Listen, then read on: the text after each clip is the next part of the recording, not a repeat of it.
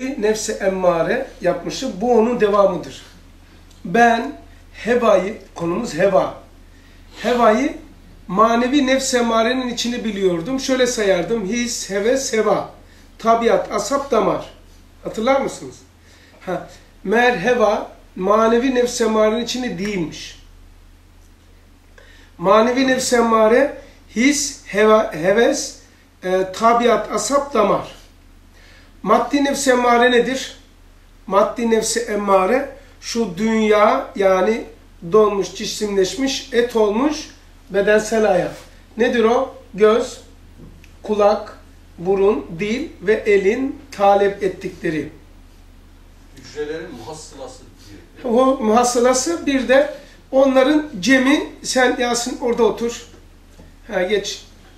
Ondan sonra bunun cemi ikidir. Ee, mide ve uçkurluk. Ha.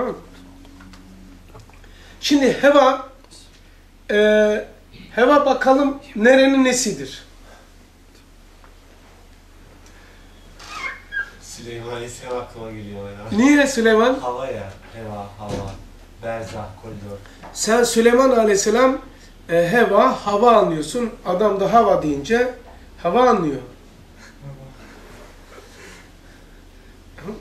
Peki ya Allah kanunu ilahiye tabi olmayan